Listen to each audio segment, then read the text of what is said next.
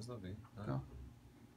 So this morning, Baruch Hashem, after uh, an interesting journey, one of my very, very close Talmidim, his mother-in-law was in Lij, and they had told her she has 24 hours.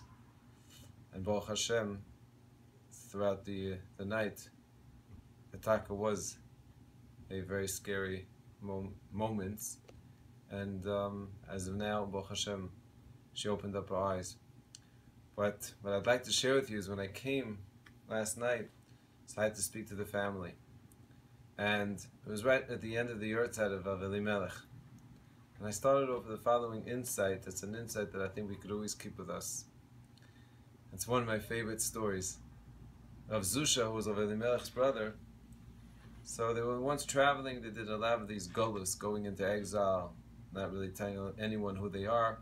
So they end up somewhere in Russia and they get there, there's claims against them that they're robbers, etc. Okay, that's all part of the journey.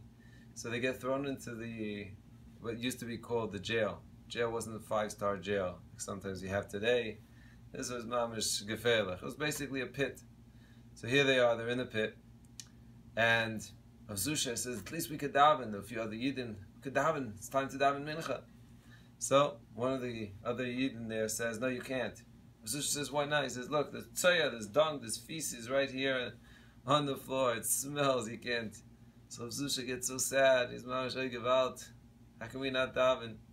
So Elimelech, his brother, says, he was called the Noam Elimelech. He was able to see always the sweetness. He says, my Halika brother, sometimes the Rebbeinu wants you to daven.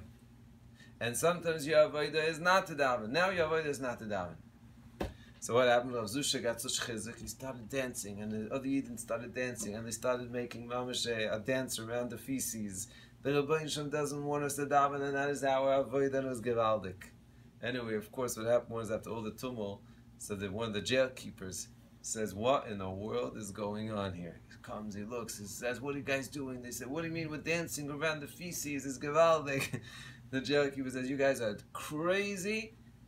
Quickly takes uh, orders someone to take a shovel, get out the feces, and now Rav Zusha turns to Rav Nemech and Rav says, "See now, Rav Zusha, Rav Zusha, now your avodah is to daven." So many times we find ourselves literally in the boits, in the mud, in the, the surrounding feces, such darkness, and a person has to know that Rebbeinu wants us to serve Him right now with that darkness. And Alva, we should be zeicher to be over Hashem with light. But the Rebbeinu says, as precious as your avodah with light is, is your avodah with darkness.